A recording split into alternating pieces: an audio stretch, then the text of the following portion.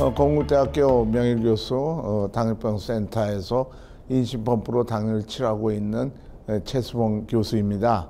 안녕하셨습니까?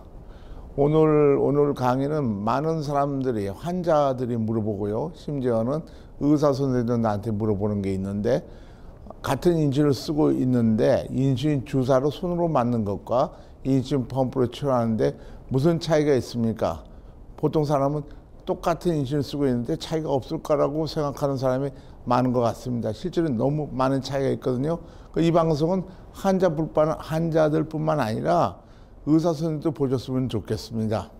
이렇게 당뇨병이라는 게 정상의 인슐린이 이렇게 식후에 많이 나고 식간에 어, 이렇게 기초 인슐린이 나오죠. 이게 세번 되풀이 되는 거죠. 근데 당뇨병은 먹는 약을 먹고 다른 원인에 의해서 기능이 떨어지니까 인슐린 요밖에 안 나오게 되는 거죠. 이게 상당히 심해진 거죠. 이게 당뇨병 상태인데 그러면 이렇게 나온 인슐린을 이렇게 정상과 똑같이 어, 만들어주는 것이 가장 좋은 치료일 겁니다. 그렇게 하고 있는 게 인슐린 펌프 치료죠. 그런데 이전에 썼던 치료는 장시간 인슐린을 많이 씁니다. 24시간 치료 인슐린 혹은 72시간 가는 인슐린. 그럴 때는 조금만 이런 식으로 더 많이 뭐 이런 식으로 되고 많이 뭐 이런 식으로 하루 종일 피 속의 인슐린 수치가 변하겠죠.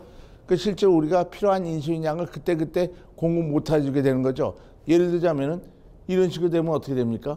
이때는 인슐린 부족하니까 고혈당이 돼요. 쉽게 고혈당이 되고 이럴 때는 어떻게 해요? 너무 인슐린 많으니까 저혈당이 되겠죠. 그래서 이 장시간 인슐린 쓸 적에는 고혈당과 저혈당을 올 수밖에 없는 거죠.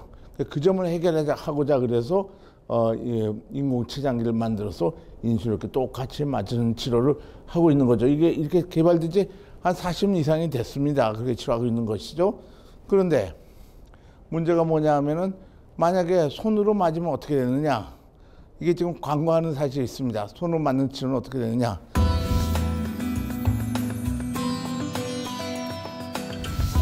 인슐린을 준다 할지라도 이 피부 그러니까 이게 이제 피부에 인슐린 주사기를 주면은 피부에 인슐린 남아 있고 어 나머지 부분은 이제 흡수되겠죠.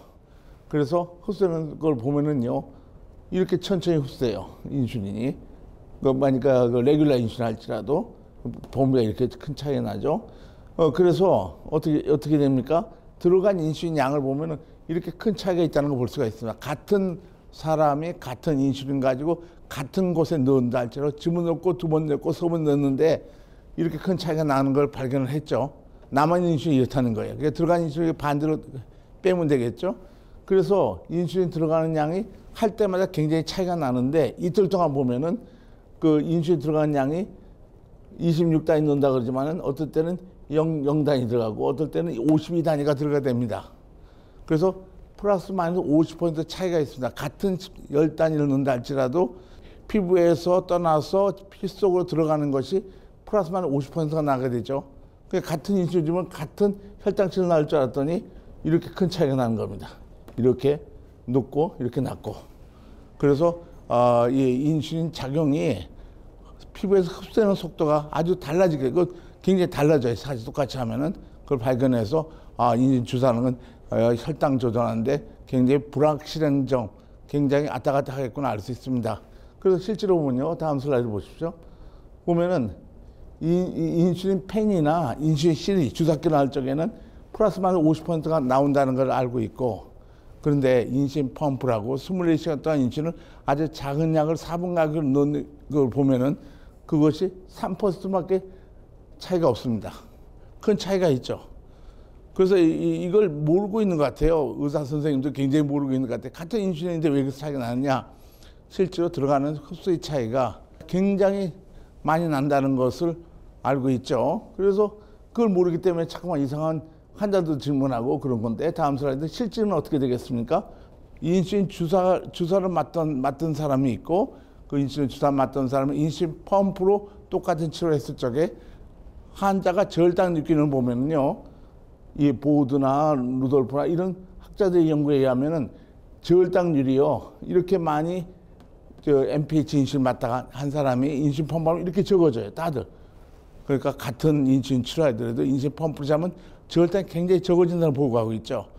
그래서 굉장히 더 어, 스테이블하게 정확히 들어간다는 것을 알 수가 있습니다. 다음 슬라이드 보시죠. 당뇨 조절과 합병증 연구 유명한 연구인데 DCCT 연구입니다.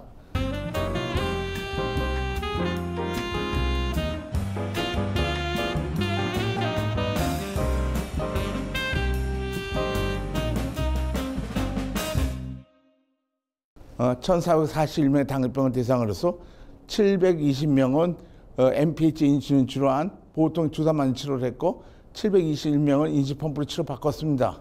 그리고서 10년 동안 봤어요. 봤더니 당할 혈색체가 똑같은 환자인데 어, 720 보니까 인지 펌프처럼 7% 떨어져 가지고 10년 동안 유지했고 어, 그다음에 어, MPH 인슐린 이 인슐린 주사를 맞는 사람들 보면은 계속 8.9 9%를 계속 유지했죠. 같은 그러니까 환자를 놓고 10년 동안 비교 연구한 것이죠. 굉장히 유명한 연구입니다. 그랬더니 어떻게 됐습니까? 당화혈색소 차이가 굉장히 많이 났죠. 같이 치료하는데 다음 슬라이드. 그랬더니 어떻게 retinopathy 영어로 돼서 미안합니다. 음, 눈 이게 망가지는 망막증을 보면은 이게 그 intensive가 인슐린 펌프 치료인데 보면은 75% 합병증이 적게 왔어요. 9년 후에. 10년은 9년 후에. 그런데 보니까 마이크 알비뉴리아 이게 미세 담은이를 보면 훨씬 적게 오죠. 인식펌프 치료가 인제치료 인식펌프 치료 군이라고 하니까 그래서 합병증 예방한다는 걸 알게 됐습니다. 얼마나 그 그때 이거 발표할 적에 전 세계 당뇨 의사들이 얼마나 환호했는지 왜 그러냐면 이제 합병증 예방 방법을 찾았다는 것을 알게 됐습니다. 그 전 세계 의사들이 많이 치료하고 치료했겠죠. 다음 슬라이드. 그걸 보면은 10년 있다 보니까 옛날 치료, 주사 맞는 치료와 이 지법을 치료 보면 은 10년 후에 보니까 당뇨병의 합병이 무서운 망막증도 63% 감소하고 신장합병증도 54% 감소하고 신경합병증도 60% 감소했다는 증거를 임상적으로 어, 증거를 나왔습니다. 그래서 전 세계 당, 당뇨 환자 합병증을 걱정하고 예방하려고 했던 당뇨 의사들은 인식범 치료를 해야 되겠다. 그래서 이, 이 다음부터 인식범 치료를 굉장히 많이 사용하고 있죠. 아침 새벽에 인슐린 맞았었는데 또 한 그건 많이 오래 맞았어요. 근데 이제 또 요 근래 와서 하루 세 번을 맞으라 그러니까 이제 세 번 맞고 하니까 밤중에 갑자기 기운이 쭉 빠져가지고 그런 일은 없었는데 꼭 아침에만 절당에 일어나면 이상하게 뭐 45인가 뭐 자다가 재봤어요. 전화를 받고 나면 이게 손, 마비가 되고 막 손이 저리고 발절인지도 오래돼 갖고 거기서 약을 한 10년도 냉기 먹었어요. 펌프하고는 뭐 아무 뭐 근심 걱정이 없는 것 같아요. 한마디로. 눈은 좋아지셨어요? 눈도 예, 눈도 좋아지고 손도 안 저리고 다 좋아졌어요. 밥도 잘 먹고 진작에 이걸 알았으면 이걸 했어야지. 거기서 몇십 년을 그걸 다닌 게 그게 억울하다는 거지 나. 저는 이 치료하는 사람이니까 환자 합병증 예방을 위해서 이 치료 소개해야 되겠죠. 42년 전부터 소개하고 있는 것입니다.